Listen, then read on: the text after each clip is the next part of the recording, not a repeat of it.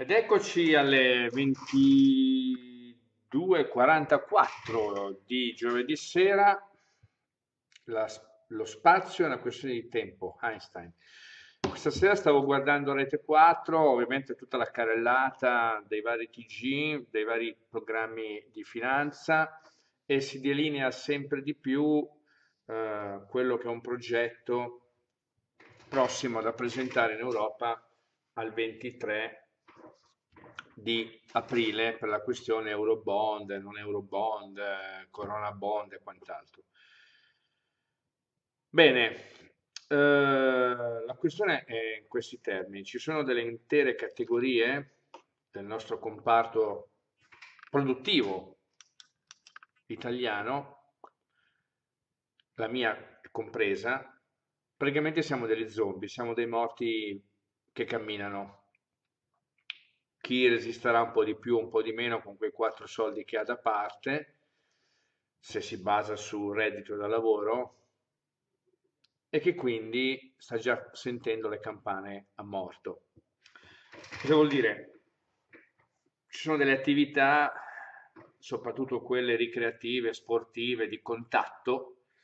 Come sapete io sono uno di quelli che opera nel settore dello sport, noi produciamo manti in erba sintetica, per poi costruire campi da calcetto dove la gente va sopra a giocare.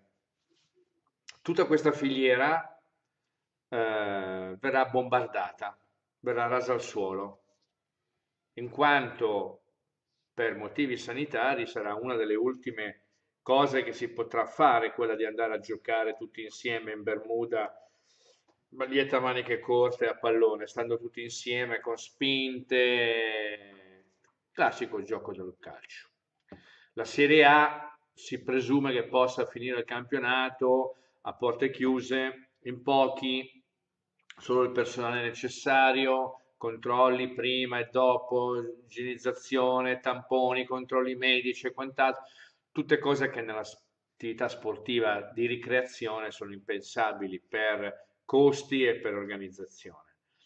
Quindi andare a giocare a pallone o fare un tuffo in piscina probabilmente sarà una delle ultime cose che si potranno. Quando si faranno quelle vorrà dire che possiamo andare in giro senza mascherine o si sarà trovato il virus, il, il bacino. Fino a quel momento questa categoria, quindi la categoria di chi? Di chi ha un terreno, ha un impianto sportivo che non lo può aprire, non lo può utilizzare, non lo può rinnovare, non lo deve rinnovare, non fa fare il progetto, quindi non lavora il geometra, non eh, va dall'impresa costruttrice a fare un preventivo, quindi eh, non si fanno i lavori, eh, non si ordinano i materiali a noi aziende, non si fanno fondamentalmente i lavori.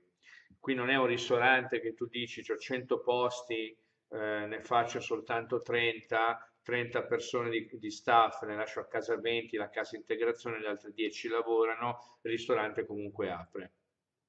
No, qui il banco salta.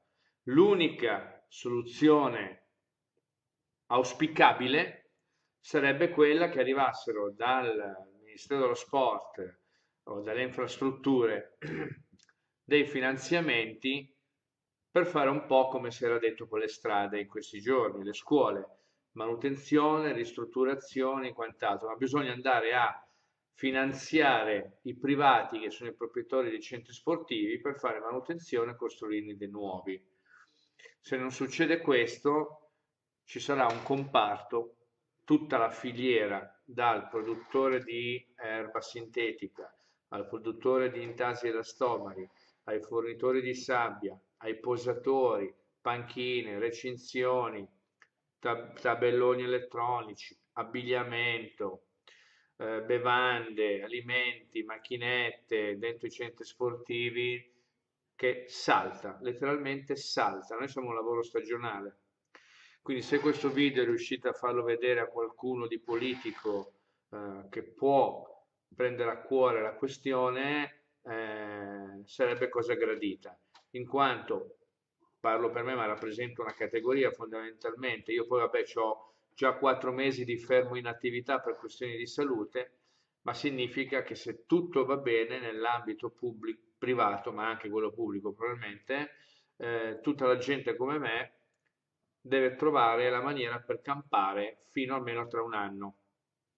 Quindi quei quattro soldi che si ha da parte, eh, a meno che non si sia ricchi o siano altri redditi dettati da patrimoni immobiliari con degli affitti e quant'altro, investimenti miliardari, eh, le spese che si potranno fare e quindi indirettamente sarà un danno per la collettività, gente come me non potrà spendere altro che i soldi per cosa? Per pagare la bolletta del gas, della corrente e la spesa settimanale.